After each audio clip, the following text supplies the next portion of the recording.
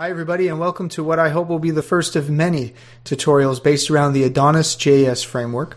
What we're going to do today is just build a very simple API. I'm not going to build any front end for it. We're going to use Postman to send and receive data to the API. And we're not going to work in any sort of authorization or authentication just yet either. So keep an eye out though for a future series where I will show you how to use Auth0 with Adonis. I have to admit, it took me a while to kind of get my head around all that, but uh, it will be worth it because uh, Auth0 has some great offerings, and I think uh, it's a great way to handle all sorts of authentication and authorization for an application. So today, it's a simple API. Um, I think you're really going to like Adonis, so let's get started. Now I want to take you through some of the things that'll help make your learning easier and more effective. What I have before me right here is the all important cheat sheet. Now, every time I tackle something new, I always have a cheat sheet with me. And I use this to keep track of my thoughts as I'm learning, any questions that come up, and any important things that I might have trouble learning, like a new syntax or something like that. So this cheat sheet is here for you. You can fork it, edit it, make it your own as we work through the course. You can add to it as you want. I'll be updating it myself as well, so you can follow along with my updates or do completely what you want to do. Whatever helps you learn best, please add it to this and keep it as a reference. Every time I've tackled something new, I've been very happy to have this when I review the material because it helps quite a bit. Now, to get us started, I've added some important links to the top of the cheat sheet. First on the list is Node.js. Of course, we are creating an API with Node, so we need Node on our local system running to, uh, to manage everything. Now, this link will just take you to the nodejs.org website. Uh, you can download the LTS version or the current version. Uh, either would be fine for our purposes today. And then packaged within that will also be npm, which is the package manager for different Node uh, and JavaScript um, uh, libraries. So we'll need both. Uh, the next one will be the Adonis uh, JS documentation. Whenever you're learning something new, it's a really good idea to just have a, a, skim through the documentation, get a little bit more familiar with what's there. So, of course, I have a link there, which will take you to the documentation here on the Adonis website. Next would be the Adonis JS CLI commands. Uh, Adonis does have a CLI tool which makes uh, working with Adonis uh, really, really easy. And you want to check out these CLI commands because we will use these often. Um, it doesn't take too long to get familiar with them, but nevertheless, it's good to have a link for that just in case uh, you forget at one time. They'll be right there. And that should be right here, I believe.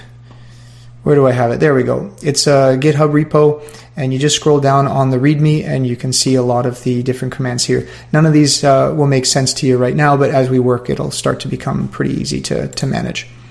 The next uh, link is to the Knex ORM. Now, Knex is an object relational mapping tool for working with SQL based database management systems for Node. It's a bit of a mouthful, but the Knex website you can find right here. It's um, if you're not familiar with working with uh, SQL directly, then a tool like Knex is kind of a nice way to get a little more familiar with what it's like to interact with a database. So Knex comes bundled with um, with Adonis, and it allows us to write to the database and read from the database and do all uh, some other stuff that's really um, helpful.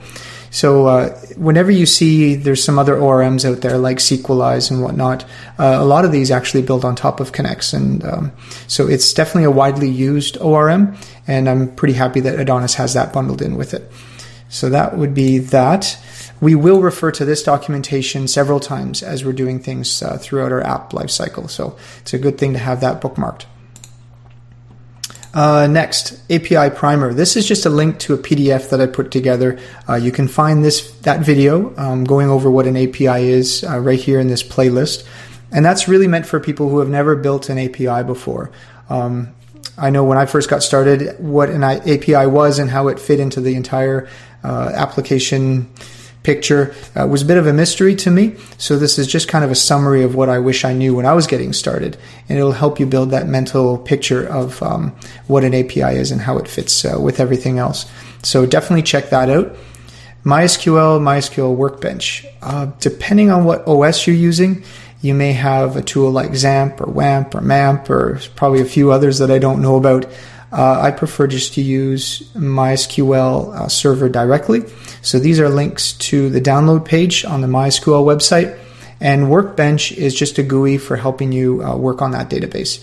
So in this course, I'm going to have, uh, there is another video that you can go through to uh, see how to set up a database, how to install the server, first of all, set up a database and add a user to it, etc. Just some basics to help us get to a point where we can work on the API. So you can check out those links right there. Git. I won't be using Git throughout this uh, course, but if you are somewhat familiar with Git and need a little more practice, then it's a good idea to have that installed on your system and to uh, practice with it as you go through this course. So uh, I think you could do is every time we run through a new step in the course, you can just uh, commit that uh, with a new message uh, to your Git repo, and that'll just keep track of everything. And that'll make it easy to backtrack if you make any mistakes. Postman. Because we're building an API, you need some sort of front end to make requests to that API to test out the endpoints and make sure it's working properly. We will not be building a front end in Vue or React or anything like that in this course. So Postman is a really quick and easy way uh, to test the endpoints and make sure that we're sending and receiving the data that we want. So this is a link to the Postman website. You can download it right here at getpostman.com. It's a fairly easy tool to use. I won't go over that just yet, but go ahead and install it. And later on in the course, when we need it, I'll show you how to get it set up and how to use it. Now, before we get started, I have some final suggestions for you. One, please try to avoid the temptation to deep dive into anything just yet. Instead, just go through the course and focus on the concepts. Focus on the big picture. Build that big mental model of what goes into developing an API first. Once you get comfortable with that, there'll be plenty of time to get into the details. But for now, forming those concepts in your mind are very important. Two, as we're working, I will ask you to pause the video from time to time, consult the documentation on your own, and see if you could figure some things out without my help. There's not a lot of value in just following along with me and copying what I'm doing. The value comes in where you stop at key moments and explore a little bit on your own. And as you do that, you're going to form different questions in your own mind. Keep track of those in your cheat sheet, and that'll help you when you're learning. Everything will commit to memory that much easier. Three, once you've gone through this course from start to finish, it's a good idea that you do it a few more times, but without the videos to help you. Instead, just consult your cheat sheet and see if you can make, you know, one or two or three or four new APIs without my help at all. This will highlight any gaps in your cheat sheet and it'll also force you to recall things, of course. So instead of me holding your hand the whole way, you're actually forcing your mind to remember what you've learned and to internalize it a little bit more.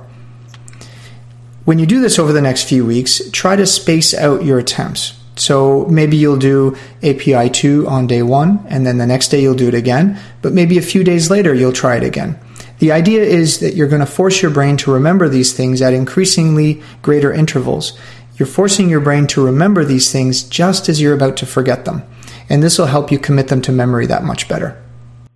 Finally, once you're able to create these APIs without too much trouble, and just using your cheat sheet, then it's a good idea to see if you can expand these and make them a little more complicated. So visit the documentation, see what else you can do. Throughout the course, I will pause at certain times and I will give you suggestions for how you can make things more complicated on your next attempts. So keep note of these in the cheat sheets and make use of them because it'll help you gradually expand how much you understand and it'll help you in your deeper dives in certain aspects of creating an API. And that's it. So if you have any questions, please leave a comment below the video. I will answer them as promptly as I can. Uh, you can also reach out to me over at the website or via Twitter. And uh, finally, please do give this video a thumbs up, subscribe, and just leave a comment if this helped you at all, uh, because that certainly encourages me and it helps me reach more people with the videos that I'm making.